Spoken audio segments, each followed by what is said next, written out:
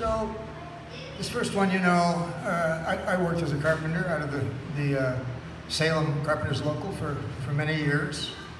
One of the jobs I worked on was uh, working on the Marion Street Bridge back in the uh, early 80s when I worked on it. It was a two-lane bridge. We built another bridge alongside the existing bridge so that now you, you don't know that that's actually two bridges joined together. It Seems like one four-lane bridge, but it was actually, uh, an, we built a bridge, a, a, mirror image of the existing bridge alongside the, uh, the one that was there.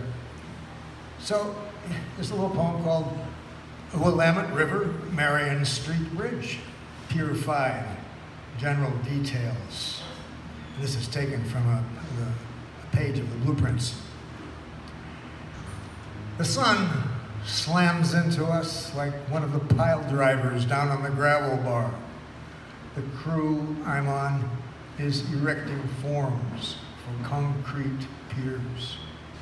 Machinery roars, earth shudders. Cottonwood leaves turn gray with dust.